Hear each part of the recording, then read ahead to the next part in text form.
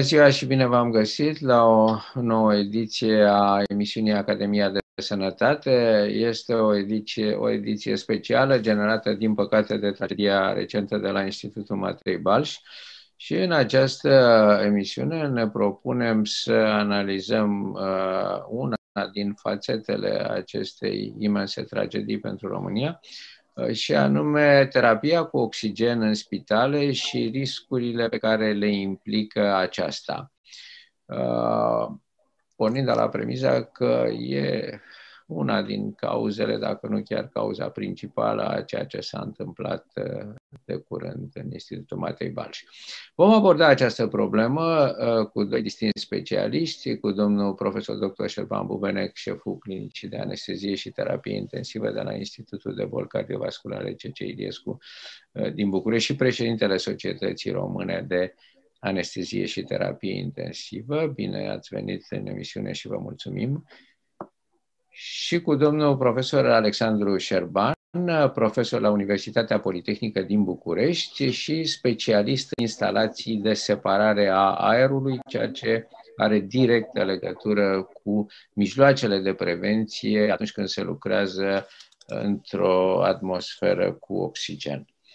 Am să încep discuția uh, cu domnul profesor Bubenec, uh, plecând de la faptul că Societatea Română de Anestezie și Terapie Intensivă, al cărei președinte sunteți, uh, a emis încă de la, după tragedia de la Piatra Neamț, care de fapt are oarecum aceleași mecanisme ca și cea de la Institutul Matei Balș, a emis mai multe comunicate, a alcătuit mai multe materiale, a tras atenția asupra problemei și a propus soluții.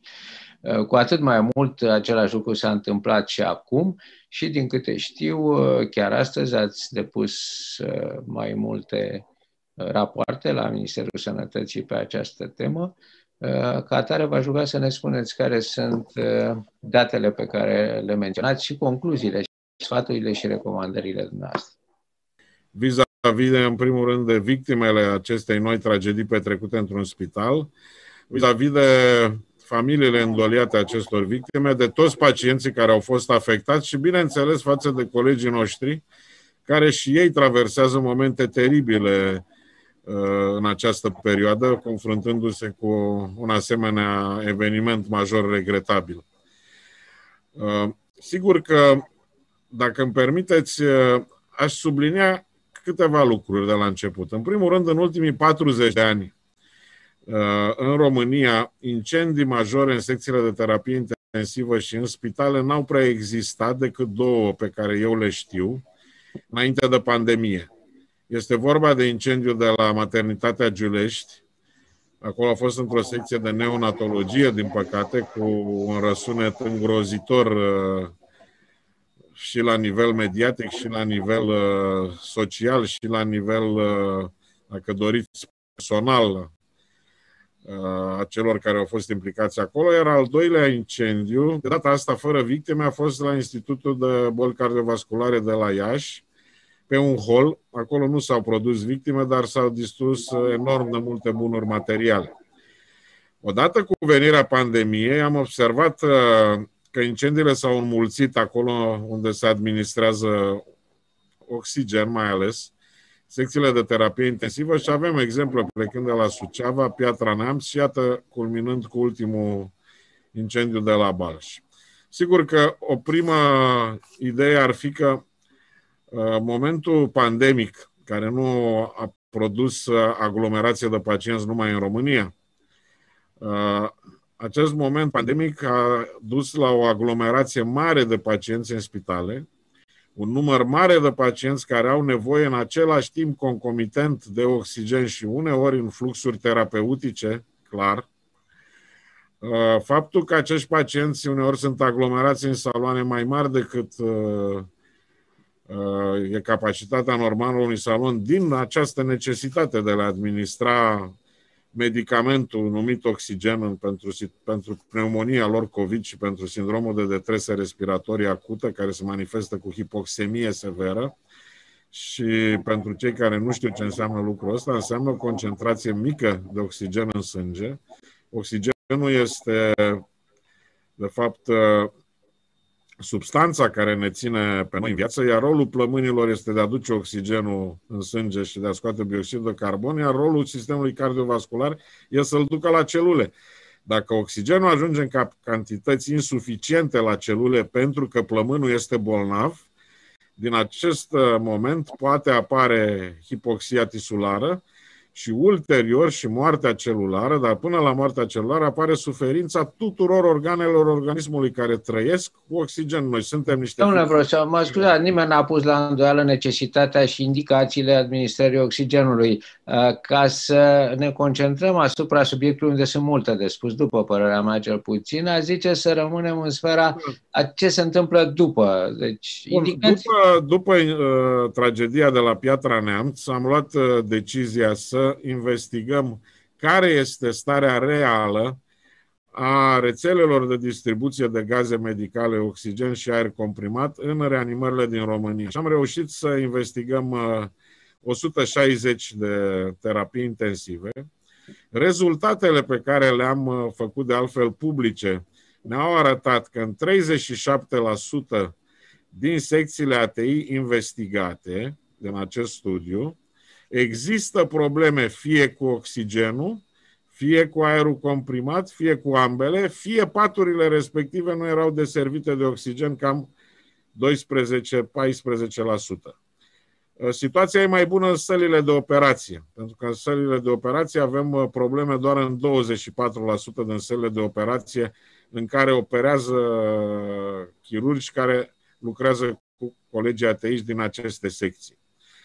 Uh, sigur că în fața acestei situații și a faptului că am reușit să mai identificăm uh, care sunt problemele majore, că pe multe instalații de oxigen și de aer comprimat uneori vine ulei, vin impurități, uh, au presiune, o presiune mai mică decât cea din normative și care face de multe ori să ne confruntăm cu disfuncția, malfuncția unor aparate de ventilație mecanică sau de administrare de oxigen cu flux mare, uh, am adresat Ministerului Sănătății, președinției, guvernului, primului ministru, uh, acest raport, s-a luat cunoștință de el, iar în cadrul unei întâlniri care a avut loc la spitalul la uh, Cotrocen, domnul președinte Claus Iohannis s-a exprimat fără niciun fel de echivoc în favoarea luării în considerație acestui raport și a măsurilor pe care noi le ceream. Și măsurile, printre măsurile care le ceream, era foarte clar identificarea unor surse de finanțare din fonduri europene, probabil în jur de 150 de milioane de euro, care într-o perioadă de 1 până la 3 ani ar putea să rezolve nu numai aceste probleme pe care le-am găsit, ci și alte probleme legate de rețelele electrice din aceste secții și de contractele de service și de mentenanță pentru aparatura medicală, care folosește și oxigen, dar nu numai. Pentru că, după cum bine știți, dacă mergi pe stradă și n-ai ITP-ul făcut la mașină și te oprește poliția și talonul îți ia și mașina, în condițiile în care în România medicii sunt puși în fața situației de a folosi aparate care nu sunt servisate, la care de multe ori nu există contracte de mentenanță și care, la rândul lor, pot fi generatoare de incidente și de accidente, inclusiv uh, accidente care se pot solda cu foc. Da, deci... aici iarăși aș vrea să revenim puțin pe firul discuției. Uh, starea și situația instalațiilor electrice e un subiect separat, extrem de important și acela mentenanța aparaturii nu mai discutăm, la fel de importantă. Uh, pe de altă parte, după cum o să vedem în cursul discuției, uh, în condițiile unei concentrații crescute de oxigen peste anumite limite, orice poate să declanșeze incendiu da. și cred că aici tocmai... Aici am, am dat un comunicat de presă imediat după incendiul de la Balș. Și în afară de cauzele pe, pe care le-am, uh, le-am expus anterior, am spus că mai pot exista mulți factori de risc. Printre acești factori de risc este creșterea concentrației de oxigen în aerul atmosferic din incintele medicale peste 25%. În general, în lume, concentrația de oxigen admisă în aerul atmosferic dintr-o incintă medicală este între 23,5 și 25%. De ce? Pentru că peste 25%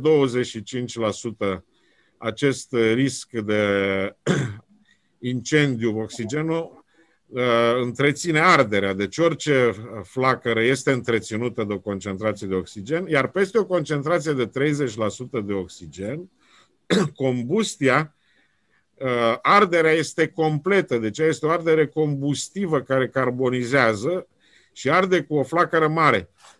Deci în un accident survenit la o concentrație mare de oxigen, de peste 30%, el nu se lasă cu arsuri, ci se lasă cu combustie completă și cu moarte uh, în cele mai multe cazuri. Carbonizare instantaneu, da. da. Haideți să rugăm și pe domnul profesor Șerban să ne spună uh, ce înseamnă din punct de vedere al inginerului care se ocupă de instalații de separare a aerului, cum se poate ajunge la o creștere a concentrației de oxigen la asemenea niveluri și cum se poate preveni acest lucru. Da, după cum uh, știm, uh, oxigenul se află în aer într-un procent de 21%, restul fiind 78% uh, argon, xenon, cripton, neon, heliu, argon, gaze rare care nu sunt neglijabile ca proporții în conținutul aerului. Deci trebuie să ne referim la acest 21%. În momentul când concentrația crește peste 22-23% dacă lucrezi cu foc deschis, uh, nu mai ai voie să introduci oameni în acea incintă. Deci trebuie să fie foarte clar pentru toată lumea că uh, nu ai voie să lucrezi cu foc deschis într-o incintă în care este depășită concentrația uh, de oxigen peste 23%. Ei, cum uh, se întâmplă de uh, să ajunge la aceste explozii și la această uh, ardere combustivă? Există peste tot, într-un spital, ca să ne referim în mod clar, perna bolnavului, salteaua bolnavului, așternutul, hainele după el, ei, toate acestea se îmbibă în oxigen da? și încet, încet ele acumulează, se comportă ca un acumulator de oxigen.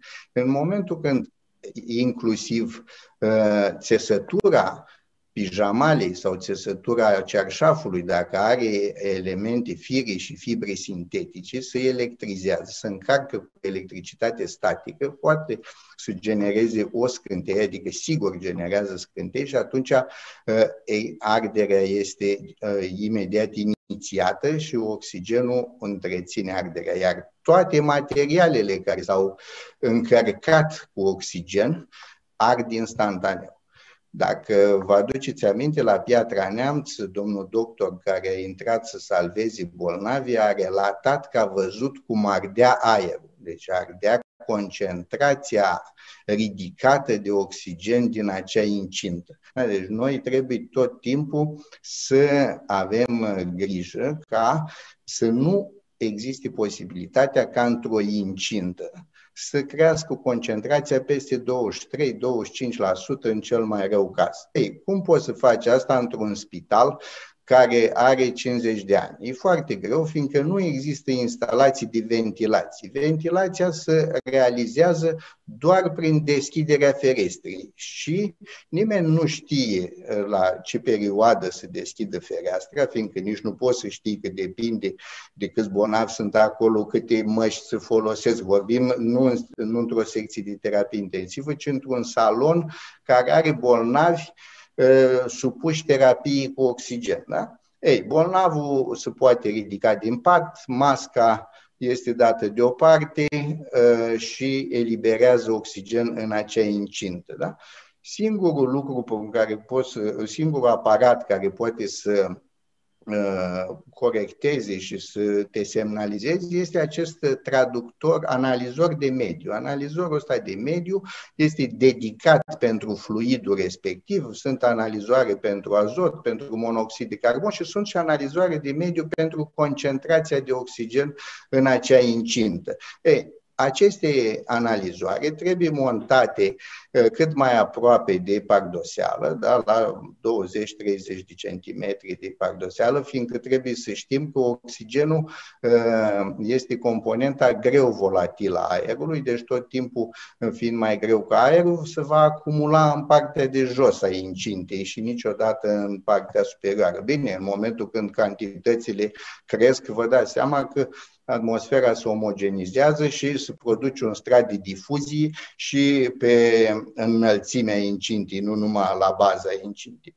Deci atunci noi am putea să uh, ne Uh, să fim sezizați de acest aparat care are capacitatea să semnalizeze și dacă este dotat cu electropal, uh, să poată chiar să închidă oxigenul. Ca să închizi oxigenul uh, în incinta aia, să zicem că este simplu, dar oxigenul este distribuit în spital printr-o rețea.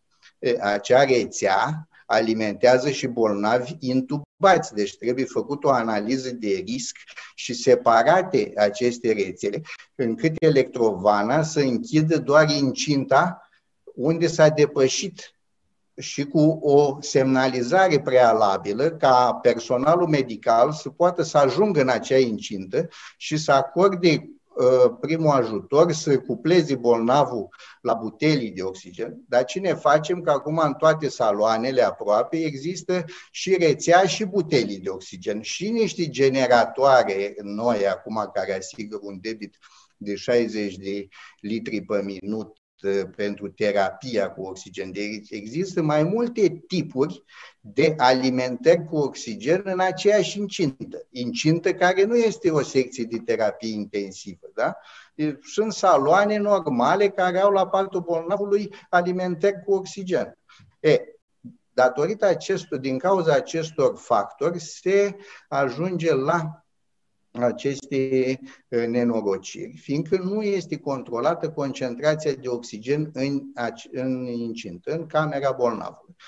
Pentru asta există da. analizoare de mediu uh, care se pot instala, precum centralele de alarmare în cazul incendiului. Okay. Există analizoare care se pot monta în incintă și cu semnalizare la camera de veghe a secției, unde asistenta poate să vadă în permanență unde începe semnalizarea. Sau dacă avem uh, de-a face cu bolnavi pe care se pune în bază, adică care nu sunt intubați și cu care putem discuta, când aud că piu e acel uh, uh, traductor de mm, concentrație, acel analizor de mediu, să anunțe imediat asistenta și să des- sau ei să deschidă geamul.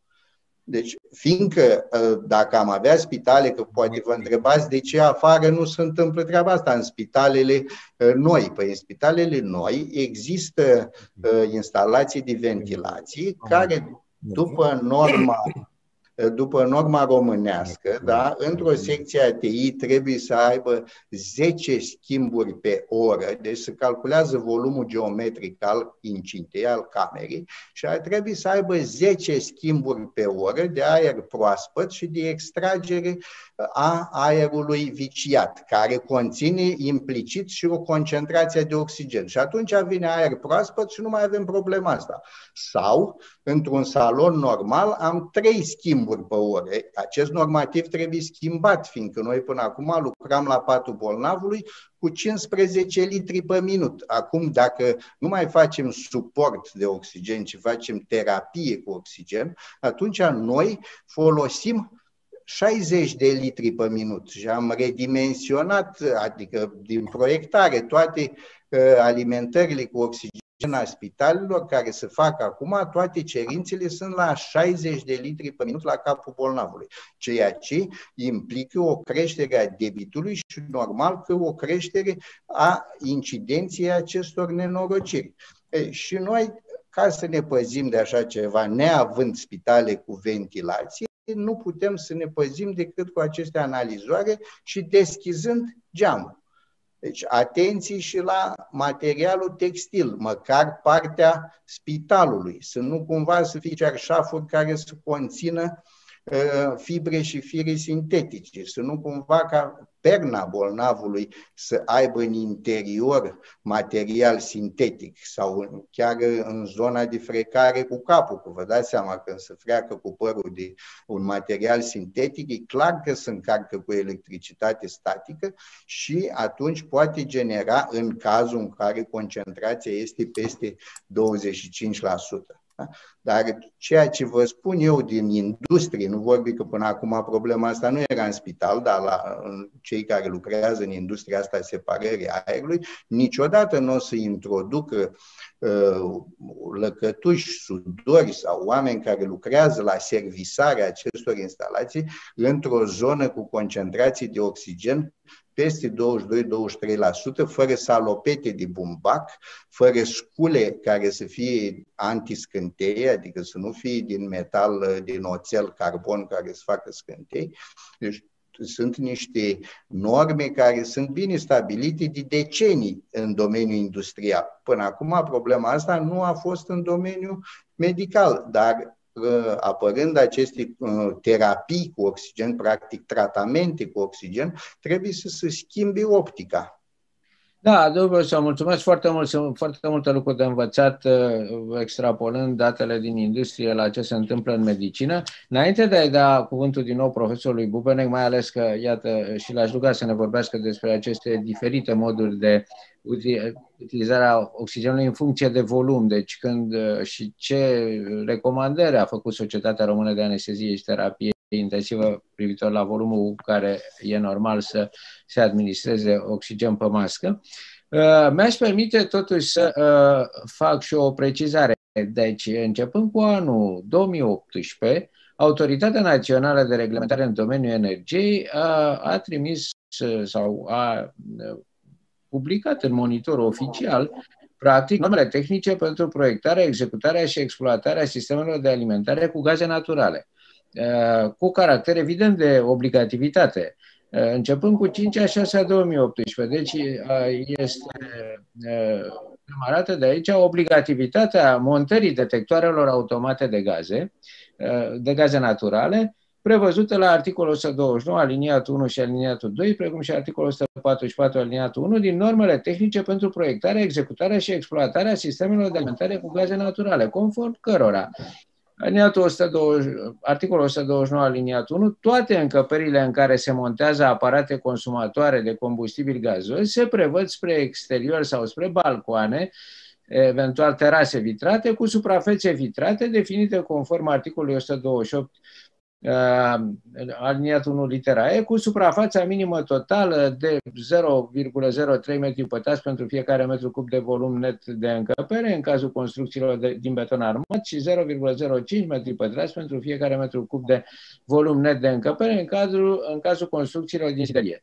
Și la articolul 129 aliniatul 2, pentru cazul în care geamurile au o grosime mai mare de 4 mm sau sunt de construcție specială, securizat, tip termopan, etc. Aici aș face o paranteză.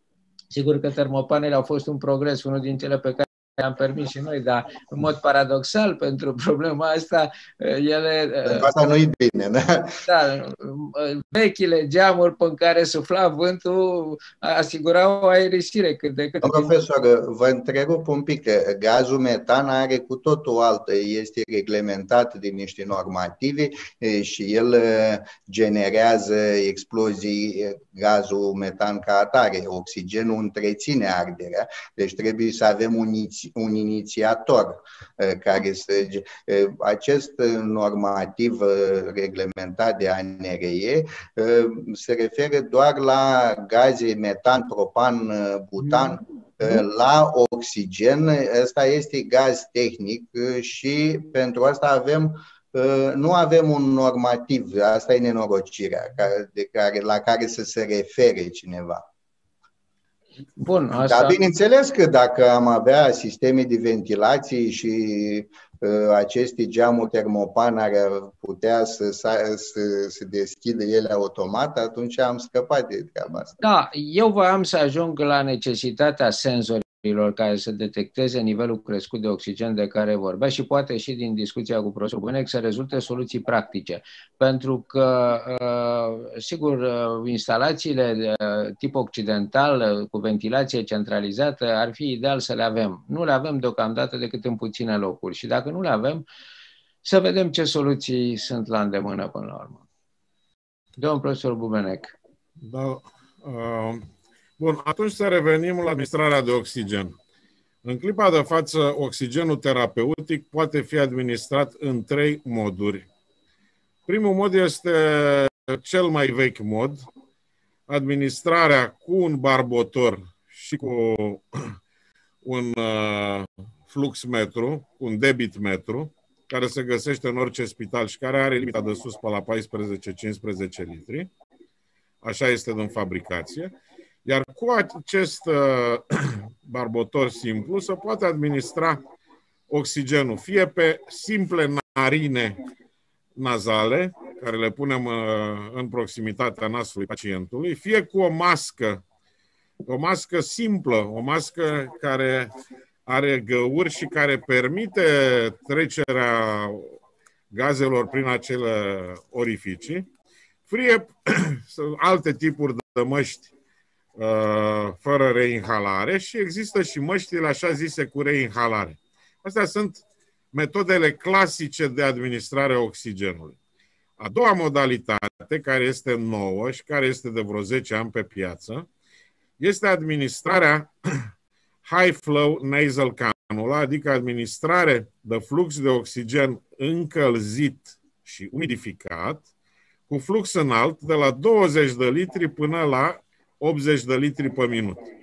Și care este o metodă care a fost inventată tocmai datorită limitelor fiziopatologice ale procedurilor anterioare la care am să revin. A treia modalitate este administrarea de oxigen prin intermediul unui aparat de ventilație mecanică, unde la fel poți pune, poți regla concentrația de oxigen care ajunge la bolnav și această ventilație mecanică poate fi fie non-invazivă, cu mască sau cu cort, sau ventilație invazivă, pacientul intubat și ventilat mecanic. Bun. Acum, Așa cum bine spunea domnul profesor, și eu mă bucur că același lucru l-am scris și noi în comunicatul nostru de presă, problema majoră în clipa de față este că noi administrăm oxigen în niște incinte și chiar în reanimările din România, doar 10% din reanimările din România au instalații de ventilație corespunzătoare centralizată și care fac și aer condiționat. Uh, în ordinul 1500 din 2009, noi tocmai am scris foarte clar că ventilația minimă pentru terapie intensivă este de 6-8 volume pe oră. Deci minimă este de 6-8 volume pe oră. Din păcate, între timp, spitale noi care să aibă centrale nu s-au construit, iar în spitalele vechi în unele se poate, se poate instala o centrală, în altele nu se poate. De exemplu, la mine în reanimarea de chirurgie, în reanimările de chirurgie cardiacă din cel mai mare centru din România, noi avem splituri. Nu putem instala o centrală de ventilație cum avem în bloc operator, unde tavanul este mult mai mare că este etajul 7 și a putut fi supraînălțat cu 30 de ani pe când tavanul de celelalte, la celelalte etaje ale instituției nu permite trecerea acestei tubulaturi pentru că am coborât tavanul la nivelul capului sau al umerilor. Deci nu se poate. Eu ce îndemn Ministerul Sănătății este ca de îndată să trimită o adresă către toți managerii de spitale, să le dea o lună de zile și măcar pentru secțiile de terapie și blocurile operatorii, să spună dacă pot fi montate astfel de centrale de ventilație, dacă au spațiu în tavan și spațiu unde să pună centrala de ventilație. Pentru că dacă este așa, din bani europeni se poate construi un program de reabilitare corectă a terapiilor intensive și a stălilor de operație din România, care sunt o mare problemă. Noi vorbim de infecții nozocomiale și ne spălăm pe mâini până ni se ia pielea și purtăm mănuși și purtăm bonete și măști și ne schimbăm de halate la fiecare bolnav și uh, facem tot ce trebuie făcut ca să nu infectăm. și în același timp nu vorbim de aerul care circulă în jurul acestor bolnavi, care odată nu este uh, reîmprospătat, oxigenul din incintele respective nu este dat afară decât când se deschide geamul, iar germenii băltesc acolo și nu sunt nici ei evacuați. Uh, vreau să vă spun următorul lucru, că tot în același ordin 1500 pe care l-am scris în anul 2009 privind regulamentul de organizare și funcționare a secțiilor ATI împreună cu profesorul Turbure, profesorul Marinescu și profesorul Sândes și pe care l-am în formă Word în computer, uh, noi mai spuneam foarte clar că presiunea de gaze trebuie să fie de 3,7 bar plus sau minus 0,7, adică undeva ceva mai mult de 3 atmosfere. Ce înseamnă lucrul ăsta? Înseamnă niște centrale bine dimensionate și cu siguranță că în clipa în care tu ai pus încă 20, 30, 50 de posturi de oxigen la o centrală care a fost calculată la un număr de posturi, nu vei mai avea această presiune și poți să ai probleme până și cu aparatele de ventilație mecanică.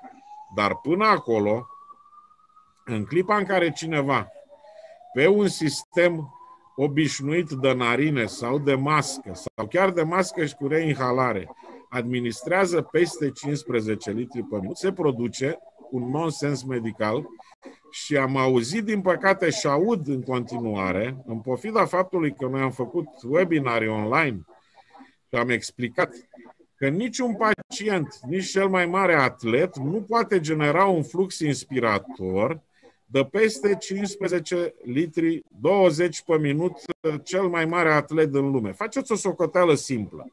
Dacă un pacient este, respiră prost, el va respira mai repede. O frecvență respiratorie mare de 30 de respirații pe minut, dacă o înmulțim cu un volum curent cât trage la fiecare inspirație un om, este undeva între 15 și 17 litri pe minut. Ce rezultă de aici? Că dacă administrăm cu o mască obișnuită, chiar și cu o mască de reinhalare, sau pe narine obișnuite, mai mult de 15 litri pe minut unui pacient, nu câștigăm nimic. Nu se va îmbunătăți saturația lui în oxigen, nu se va îmbunătăți presiunea parțială de oxigen în sângele arterial și hipoxemia, pentru că acest oxigen se va răspândi și se va, va fi distribuit în cameră, nu în pacient, pentru că pacientul mai mult nu poate. Și atunci când aud că în unele spitale colegi care sigur n-au aceste cunoștințe de bază de fiziologie și de fiziopatologie respiratorii, dau drumul la maximul la acel barbotor, care într-adevăr poate să facă și 30-40 de litri pe minut. Sau, potrivă, mai pun, îl mai leagă pe pacient și la o sursă de oxigen vecină, deci îi dau 60 de litri pe minut. Acei 60 de litri din ei, cel puțin 45 să duc în atmosferă și în scurt timp vor face o concentrație de oxigen în cameră care devine super periculoasă.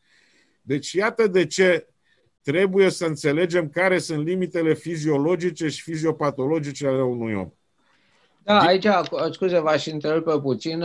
Aceste recomandări ale Societății Române de Anestezie... nu sunt numai ale Societății Române de Anestezie, sunt ale Societății Europene de Anestezie și sunt recomandările care sunt făcute pe platforma COVID pe care o găsești oriunde în lume și care îți spune foarte clar, pacientul care la 10 litri oxigen pe mască are saturație sub 92%, e un pacient care e candidat fie la tipul 2, oxigen cu flux înalt, cu un aparat special care s-a inventat de-abia de 10 ani, fie la intubație și ventilație. Niciun protocol care se găsește peste tot în lumea asta, în orice uh, loc pe internet și în orice spital, nu spune că pacientul hipoxemic cu saturație între 90 și 92 cu 10-12 litri pe minut, trebuie să-i crești fluxul de oxigen. Din păcate, colegii noștri care nu s-au uh, confruntat cu astfel de pacienți înainte de pandemie, cu asemenea suferință respiratorie severă, nu știu lucrurile astea. Ceea ce este mai grav este că nu citește și că nu treabă. Da, domnul profesor. Și nu, e greu să ajungă la recomandările europene, ale societății europene de... Dar sunt și ale noastre pe, pe, pe site Srati, sunt din luna martie Ei. 2020, reabdatate. Mă scuzați, mă scuzați că vă întrerup. Noi în ultima perioadă primim teme de proiectare de la toate spitalele din țară, un, teme de proiectare făcute de către spital, probabil cu consultarea șefilor de secții de la terapie intensivă și ni se cere în mod eh, eh, imperativ să proiectăm eh, instalațiile la care să asigure debite de 60 de litri pe minut. Da, este justificat, domnul profesor, vă explic de ce e justificat. Pentru că apariția acestei noi tehnologii în urmă cu 10 ani, care administrează, poate administra fluxul acela de 80 de litri pe minut direct în arborele respirator al pacientului prin niște narine speciale, absolut speciale, care creează, dincolo de efect Venturi, creează o sumedenie de alte efecte, acel flux de, nu poate fi administrat decât printr-un aparat special, sunt două tipuri în lume și eu lucrez cu un astfel de aparat în terapie intensivă la mine. De obicei, într-o terapie intensivă de peste tot în lume, nu o să găsiți mai mult de două sau trei astfel de aparate. Iar uh, în felul uh, ăsta nu trebuie, pentru două sau trei aparate de acest tip, nu se justifică supra normarea fluxului de oxigen dacă folosești mai multe 10, dar dacă folosești 10 aparate în același timp cu 80 de litri pe minut și nu ai centrală de ventilație și nu ai senzor de oxigen, în următoarele două săptămâni vă garantez că acea secție, acea incintă va sări în aer. Așa cum ne-ați explicat și da. foarte frumos înainte. Da. Uh, domnul profesor, deci revin la idee și la recomandările și ghidul elaborat de Societatea Română de Anestezie și Terapie Intensivă și la necesitatea de a-l cunoaște toți cei implicați și poate din partea noastră de a-l promova. Pentru că uh, știți foarte bine că în momentul de față există terapie intensivă și ventilație mecanică, există și uh, depend, sau necesitatea oxigenoterapiei, care din motive multe, nu să le enumerăm aici, nu se face numai în terapie intensivă, de se face și pe saloane obișnuite și poate de multe ori de personal. Tocmai noi am, am comunicat cu colegi de-ai noștri din alte specialități, infec- boli infecțioase, pneumologie, boli interne, care primesc pacienți COVID și administrează oxigen și le-am explicat în cursul acestor webinari online, cursuri online, de ce este un nonsens medical ca cu barbotorul și cu debitmetru obișnuit să administrezi peste 10-12 litri medici. De ce este un nonsens medical? Sigur că unii dintre ei au înțeles și au înțeles că un pacient care are nevoie de peste 10, 12, în jur de 12 litri pe minut maxim oxigen pe masca obișnuită sau pe narinele obișnuite sau chiar și pe masca cu reinhalare și este hipoxemic, soluția nu este să-i crești la maximul cât iese din perete și nici să-l mai mufezi și la a doua sursă de oxigen, ci soluția e să anunți urgent terapia intensivă. Pentru că în terapie intensivă poate să aibă două soluții fie aceste aparate cu high flow, care, din păcate, în epidemia COVID nu sunt cele mai iubite, pentru că ele produc aerosoli într-o cantitate enormă și îmbolnăvesc personalul. Pentru că pacientul nu este singur acolo, este îngrijit de personal. Din acest motiv se pune o frână în multe societăți din lumea asta. Nu recomandă neapărat high flow oxygen, ci recomandă intubația orotraheală. Deci acești pacienți, când au nevoie de mai mult de 10 litri pe minut pentru a avea o saturație de peste 92%, ei nu, trebuie imediat anunțată reanimarea și nici de cum crescut la maximul cât poate să iasă din perete oxigenul, pentru că lucrul ăsta nu-l ajută pe bolnav și produce un pericol imens de incendiu. Da, e bine că am identificat, iată, multe din cauzele uh, tragediei care au avut loc și care pleacă de la atingerea unei concentrații crescute de oxigen, peste, evident, limitele admise și aflată în zona periculoasă, uh, care la rândul ei poate avea legătură cu modul în care se administrează oxigenul și de aceea Uh, ce spunea profesorul Bubene, că administrarea oxigenului până la urmă trebuie făcută cumva sub coordonarea specialiștilor din serviciile de anestezie și terapie intensivă, chiar în mod obișnuit, cu atât mai mult cu atunci când intervin o serie de probleme care necesită creșterea uh, volumului de oxigen administrat, cu atât mai mult e nevoie de uh, implicarea unui specialist în anestezie și terapie. Aș vrea, dacă îmi permiteți, să mai adaug două lucruri pentru eventualii colegi de alte specialități care ne urmăresc.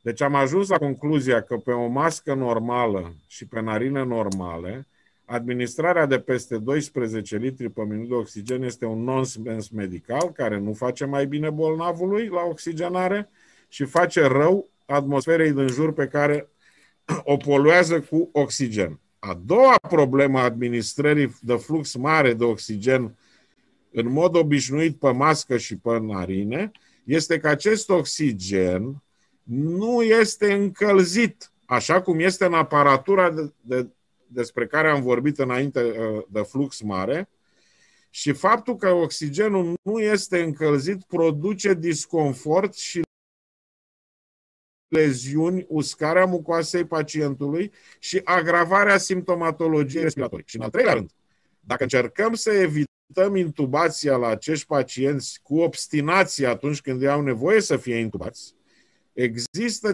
ceea ce se cheamă PSILI, adică Patient Self-Induced Lung Injury.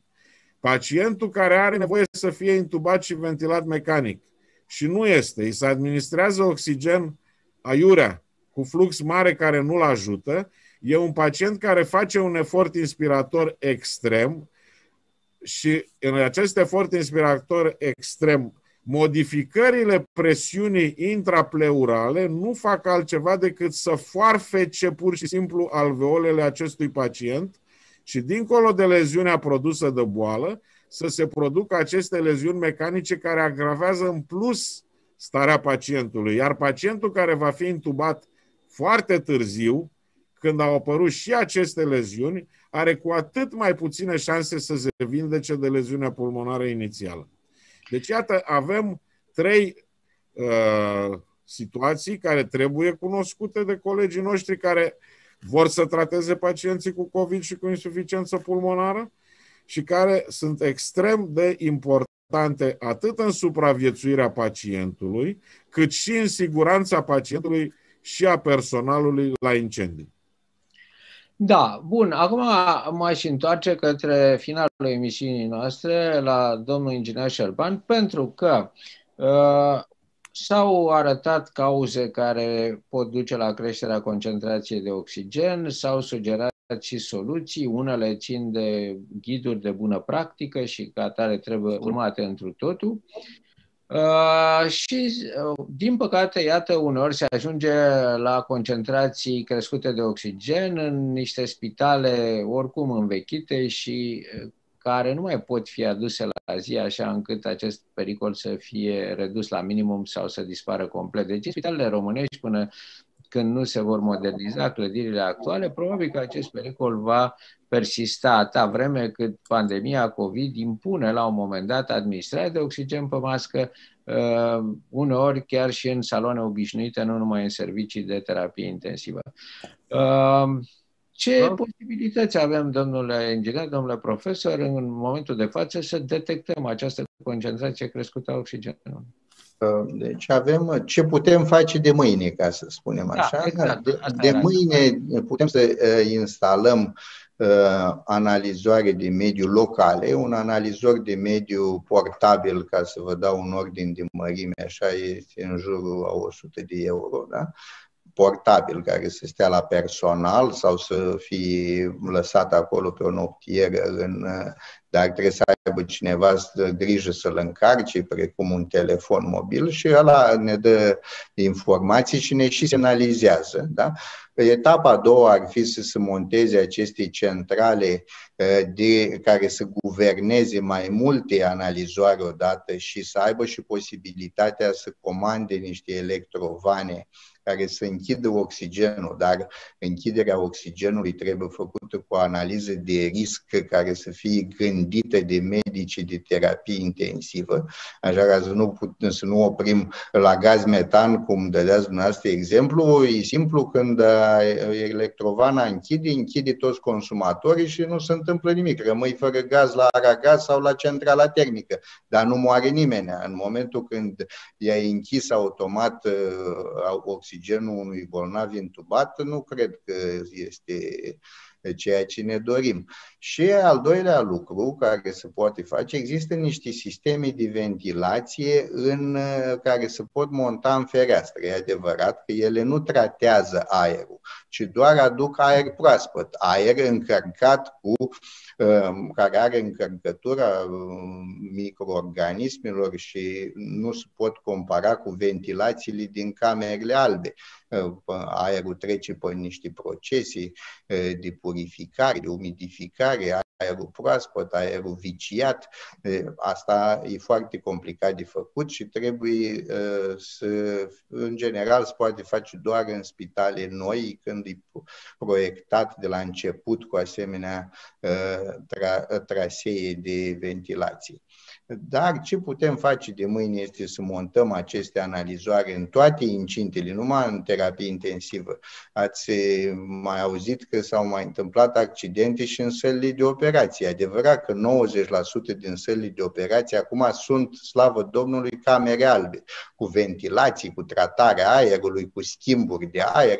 Dacă ne uităm după normativul american, într-o secție de terapie intensivă și într-o sală de operație trebuie să ai 12 10 schimburi pe oră. Da, în salele de operație chiar mai mult. Da. E, și acum, cum există toate bisturiile astea care sunt cu înaltă frecvență și ligașururile și toate astea, pot genera electricitate statică și într-o concentrație bogată de oxigen, să îmbibă câmpurile operatorii cu oxigen și câmpurile alea iau foc sub bolnav și te întrebi ce s-a întâmplat. Păi, alte asta s-a întâmplat. Electricitate statică sau generată de un aparat medical, concentrație ridicată de oxigen în zonă și asta se întâmplă. E, noi pentru treaba asta putem să ă, facem de mâine două lucruri mari și late. Să, să instalăm aceste analizoare de mediu care există fără nicio problemă, se pot cumpăra, nu sunt o avere, așa, și ă, chiar cu centrale care să guverneze ă, verificarea lor în timp real de către personalul medical și aceste sisteme de ventilație care să se monteze în fereastră și care nu să facă altceva decât să aducă aer proaspăt și să-l scoată pe ăla viciat. Dar mai mult de atât în spitale vechi e foarte greu de făcut. Acum să știți că există niște posibilități cu centrale de perete care să pot monta în uh, sălile de operație și în reanimări care să facă oficiu, sigur că trebuie tubulatura să aibă loc, dar o centrală, o, o astfel de instalație care face și ventilație și aer condiționat și purifică aerul cu filtre HEPA, pentru 10, 5, o reanimare de 10-15 paturi nu costă mai mult de 250.000 de euro.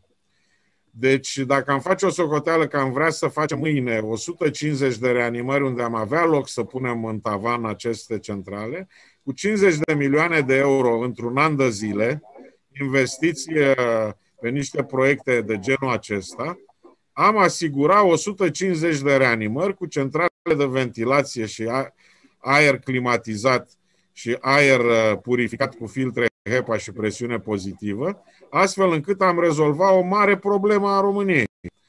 Cred că 50 de milioane de euro nu sunt o problemă majoră pentru un stat ca România și mai ales în situațiile în care, cu care ne-am confruntat, ar fi un al doilea pas după instalarea obligatorie cât mai rapidă a senzorilor de oxigen în a aduce spitalele românești cât de cât la un nivel de bază. Eu știu că domnii manageri de spitale uh, le e mai ușor să se apuce să pună numai linoleu pe pereți, eventual, în secțiile de reanimare și să fățuiască niște holuri. Eventual, dacă spui de, de Consiliul Județean și Acolo și să monteze termopane, da. Să monteze termopane și să pună niște flori în hol care le cumpără de temir pe unde și costă cât uh, două daci. Dar uh, dacă Ministerul Sănătății ar însărcina pe acești manageri ca într-o lună de zile să spună unde se pot monta și unde pot fi aduse la față sălile de operație și reanimările din România, eu cred că s-ar identifica peste 100 de secții de reanimare și peste vreo 100 și ceva de săli de operație în România, care în decurs de șase luni de zile ar îndeplini toate normele din lumea civilizată.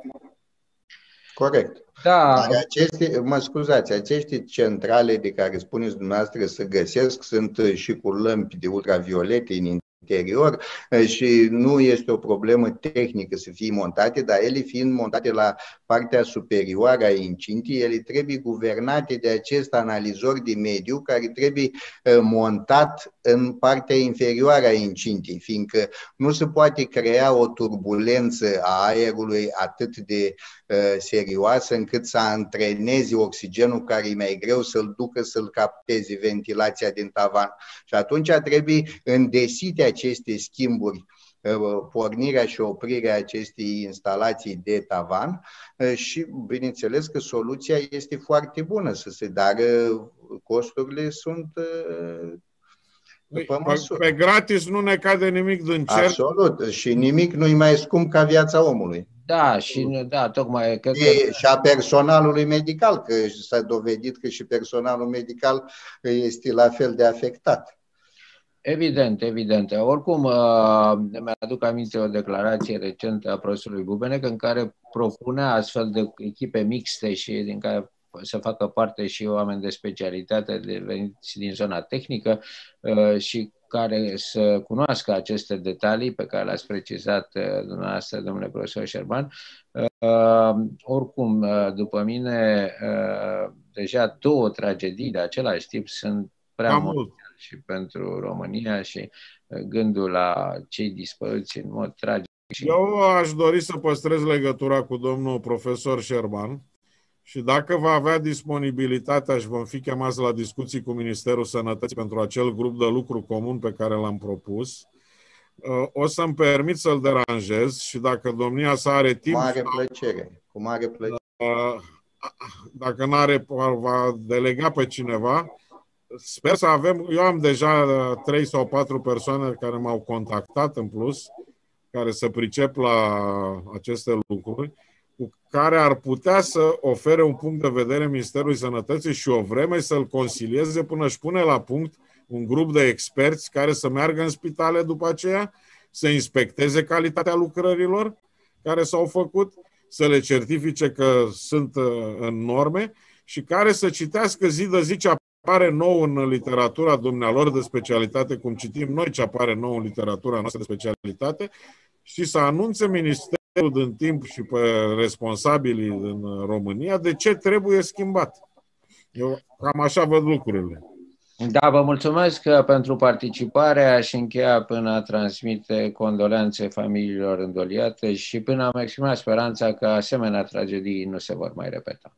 Vă mulțumesc. Mulțumim, domnule mulțumim profesor. Mulțumesc, domnule profesor. Doamne ajută. Mulțumim Doamne. și noi. Mulțumim.